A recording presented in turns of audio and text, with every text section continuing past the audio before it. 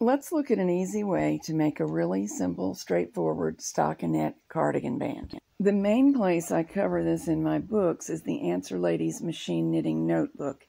It's in the Create a Cardigan section. This band does not require a ribber and it's suitable for absolutely all flatbed knitting machines. I will place a link to the knitting notebook in the program notes for this video. You're looking now at the basic version of the cardigan band.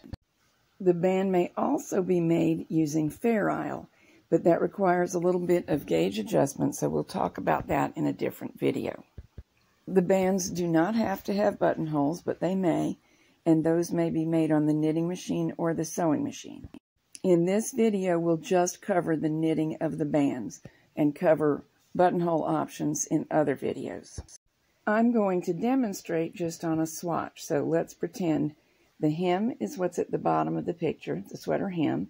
You're looking at the sweater front towards the left of the picture and the neckline at the top of the picture. The arrow is pointing to the band we will knit. And here's the spot where that band joins the main part of the center front. This kind of band is knitted after the two cardigan fronts are completed and off the machine. There are two ways to select the number of needles that we need for the band, and one of them depends on knowing the fabric gauge for the main knitting.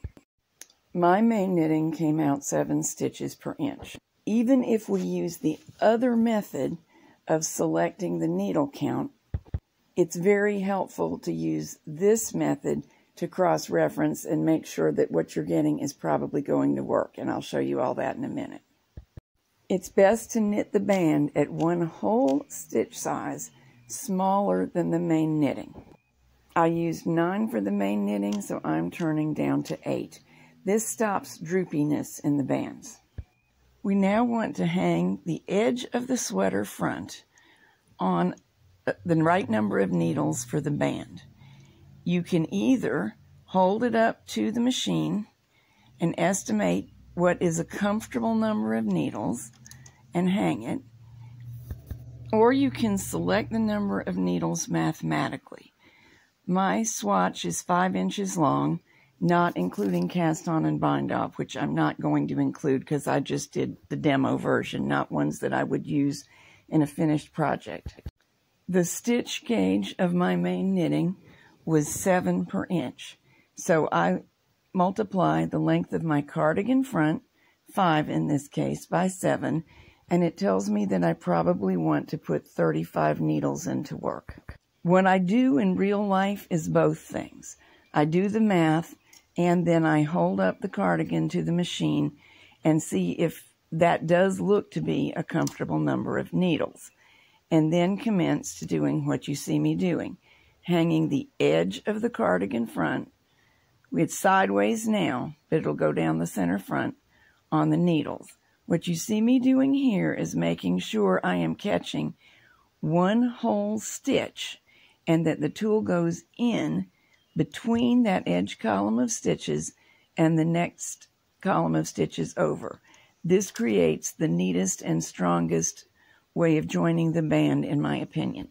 Rather than working from one end to the other, or the neckline to the hem is another way of putting it, I find that dividing the space over and over, hanging the center of any interval, gets you the most evenly hung edge. It is extremely important that each needle goes in through a unique and separate opening. If two needles go through one opening, the stitches won't work correctly. So as you come close to finishing hanging the edge, you must double check on the last few stitches to make sure that each one is, in fact, in a separate opening. Make it easier to knit the first band row by bringing the needles all the way forward and knit across. My carriage would normally begin at the right, but I put it on the left and threaded the yarn in from that side so that the camera and you could get a view. Now knit all the band rows. This can technically be any number you want, but traditionally, bands should be from half inch to one inch wide. So if you get 10 rows per inch, do you need 10 rows? No, you need 20 because half of the band will be on the inside of the fabric and half will be on the outside. So in other words, double the number of rows needed for the length in your row gauge. To clarify a little bit, say I want a half inch band and my row gauge is 10 rows per inch. I would actually knit 10 rows. That will make an inch of knitting, but when I fold it so that the band is doubled, it will create a half inch. This is the simplest form of this band. There is also one that has one large row to create a natural fold in the fabric, and that is described in the Answer Lady's Machine Knitting Notebook. Now we pick up the same area that was originally hung to begin the band and hang the same stitches on the working needles, and I tend to do it in the same manner, starting left and right and dividing my space. It is not necessary to count if you do this. You can get it nice and evenly hung just using this technique.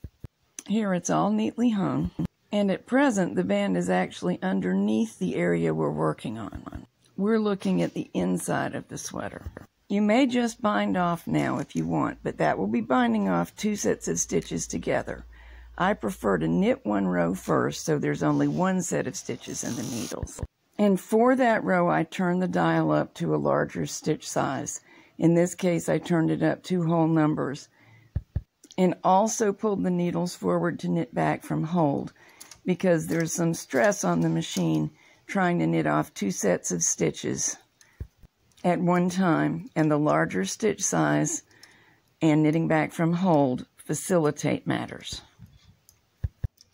All that's left to do is bind off, and I'm binding off around the gate pegs as a first choice, although any method is really acceptable, but this gives a nice chain stitch. After the last stitch is complete, break or snip the yarn and pull it through the final stitch. There I'm breaking it, pulling it, and now the fabric, which is one side down the center of the front, lifts off the machine. Give a lengthwise tug to the newly made band stitches, and there it is.